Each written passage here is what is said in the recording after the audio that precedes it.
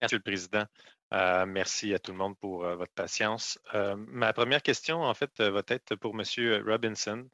le Boeing 737 MAX, bon, j'ai compris dans les déclarations du gouvernement, on, on, indiquait que ça devenait, c'était rendu l'avion le plus sûr au monde après les vérifications qui ont été faites. Alors, je, vous me permettrez d'être un petit peu perplexe parce que le Boeing 737 MAX est muni d'un dispositif MCAS qui, lui, en fait, son objectif, c'est de stabiliser automatiquement corriger une instabilité de l'avion due au fait qu'il a été tellement agrandi au fil des ans, puis que ça correspondait plus, la conception de l'avion ne fonctionnait pas de façon naturelle.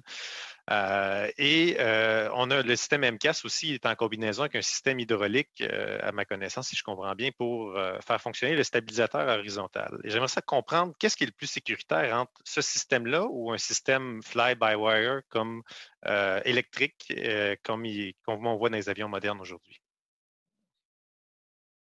Gentlemen. Mr. Chair, thank thank you for that question. Um, uh, for, first, uh, just to the comment that uh, the the aircraft is is the safest in the world. Um, uh, well, I have I've never uh, mentioned uh, that, nor would I. it it undermines the fact that the certification system is based off clear sets of regulations. we ensure that all aircraft meet those regulations and standards. Um, so when you see an, an, aircraft that's certified or validated by Canada, you know that it's meeting that standard. Um, I, I, wouldn't put one aircraft as, as being a safer standard than, than the other. Uh, we have a, a clear uh, bar that needs to be met in Canada, and, and that's uh, what is met for all our aircraft. Um, so, so, I wouldn't uh, now. Now I don't know if if that that came uh, from another uh, another source, but but that would be our Transport Canada perspective. Is uh, is all aircraft that we certify or validate are safe. They've met our standards, um, and and our standards and regulations are clear. Mr. Barsalou. Merci beaucoup. Euh, j'aimerais aussi comprendre parce que, euh, bon, cet avion-là, euh, là, il vient d'une autorité américaine, il a été certifié. Si un avion semblable avait été produit par une autorité canadienne avec les mêmes technologies, le même fonctionnement, est-ce que cet avion-là aurait été certifié par le Canada? Gentlemen.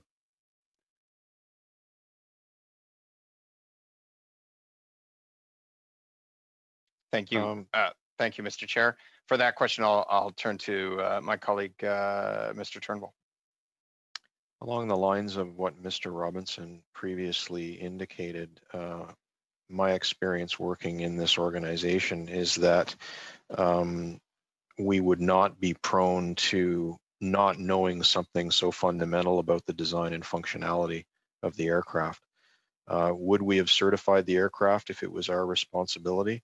eventually yes um, but um, the considerations or the things that were missed with respect to um, the failure modes that were introduced with the uh, the use of MCAS and the way that it was implemented, I would like to think we would have we would have caught and we would have addressed. Um, Merci, mais je ne vous parle pas juste du MCAS, je vous parle de l'avion en général. Est-ce que le même avion produit au Canada a été certifié?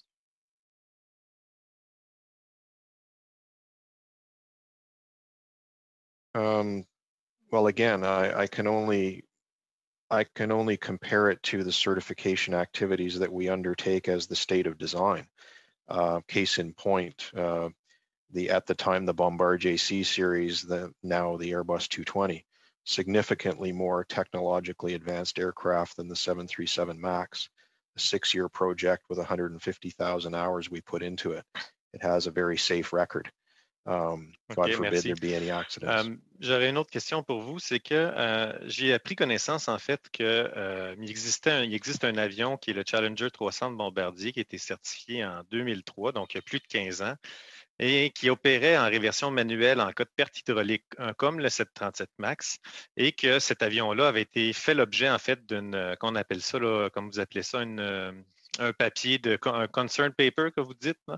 Euh, donc, je, me, pose vraiment la question à savoir si en 2003, ça faisait l'objet d'un papier, de, un concern paper, euh, pourquoi euh, en 2020 ou en 2021, on approuverait un tel avion au Canada?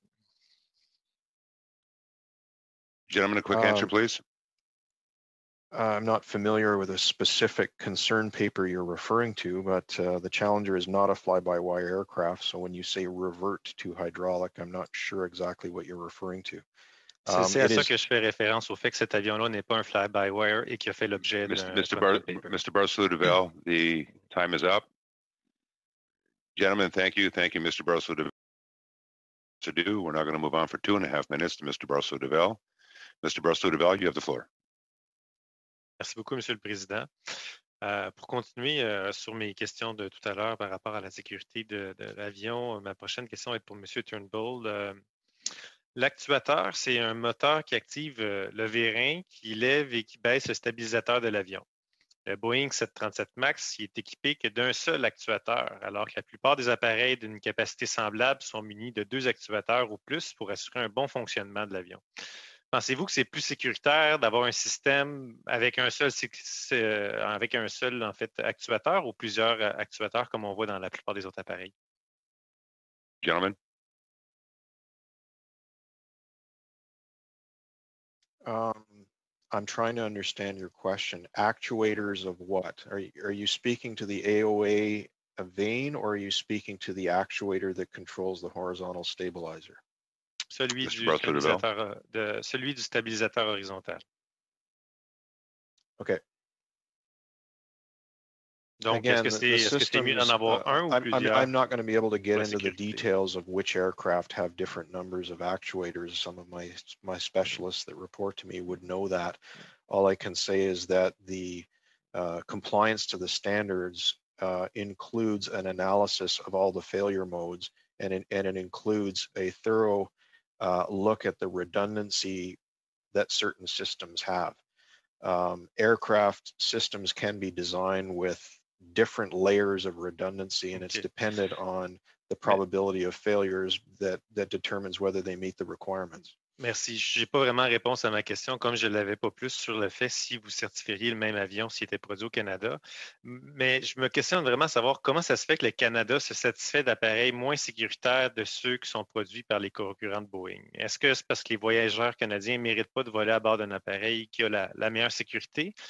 Euh, puis, dans le fond, tout ça, c'est dû au fait de l'obsolescence de cet avion-là qui a le même système ou du moins la même qualification depuis 50 ans.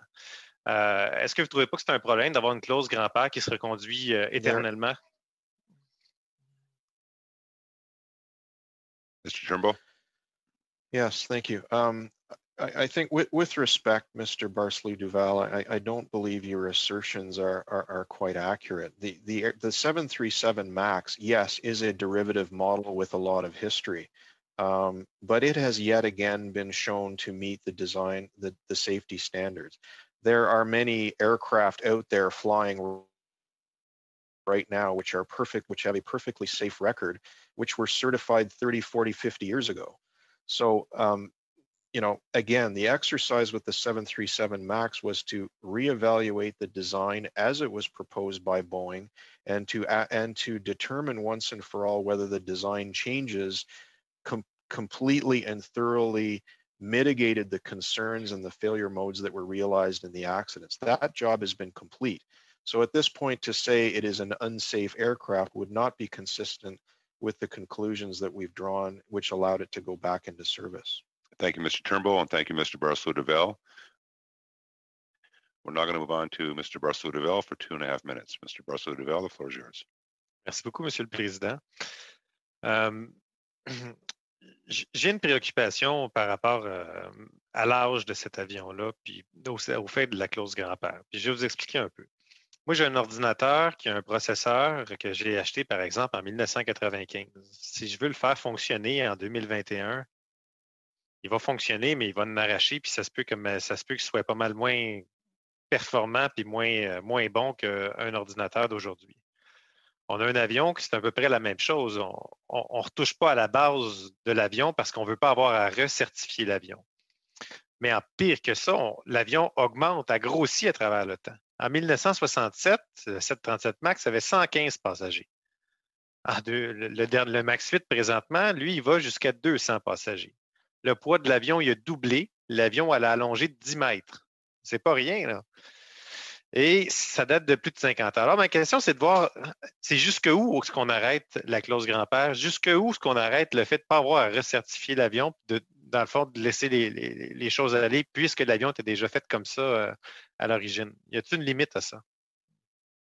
Gentlemen, Thank you for the question. Um, you've you've pointed directly at the what is really the number one priority in investigating the certification policies and procedures, i.e., the lessons learned that came out of the accident, and that is, as I mentioned earlier in the in this committee hearing, uh, the change product rule. Um, that set of regulations, generally known as the change product rule, define a process whereby a change product is evaluated and it is determined whether the aircraft in its changed form should step up to the latest design standards or whether certain aspects of the aircraft uh, or certain systems or certain features on the aircraft are allowed to, as you refer to it, grandfathered or recomply with the existing standards. Uh, that is clearly Merci. an area. Je, je vous inviterais, moi, je pense, à, à revoir euh, votre- vos processus de, d'automatisation, de recertification, du moins au niveau de la clause grand-père. Mais en terminant, j'aimerais vous poser une dernière question. En fait, vous me faire une demande. S'il n'y avait pas possibilité, en fait, pour vous de déposer euh, le fameux concern paper dont je vous ai fait mention tout à l'heure concernant le Challenger 300, qui euh, c'est le papier I8 qu'on me mentionne, euh, daté de 2003, ça serait très apprécié parce que ça nous illustrerait la préoccupation qu'il y avait sur le Challenger qui pourrait être la même, en fait, pour le 737 MAX. Si vous avez d'autres choses pour compléter la réponse que vous aviez commencé, je, je vous laisse aller. gentlemen, Okay, um, I, I may need some more specifics there. Um, in, in the course of certifying domestically, in this case, a Bombardier aircraft, we may have as many as 20, 30, or 40 issue papers on any, on any certification. Uh, I'm not particularly current on the one you're referring to. You, Donc, you, il s'agit du AARD 5010-A646. okay, that is a file number, uh, not an issue paper number, but uh, Oui. um, I'd be happy to uh, exchange information with you on that to get the specifics of what you're looking for. The answer is anything you would request, uh, we would be happy to provide. Thank you, Mr. Turnbull. Thank you, Mr. Bar-